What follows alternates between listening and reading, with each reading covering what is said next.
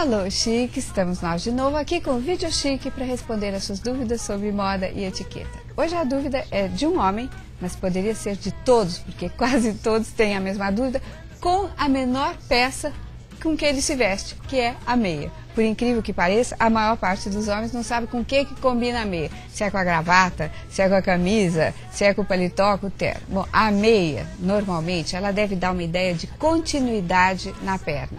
Ou seja, ela combina ou com a cor da calça ou com a cor do sapato. Se você tiver, por exemplo, uma calça azul marinho um sapato marrom, a meia azul marinho.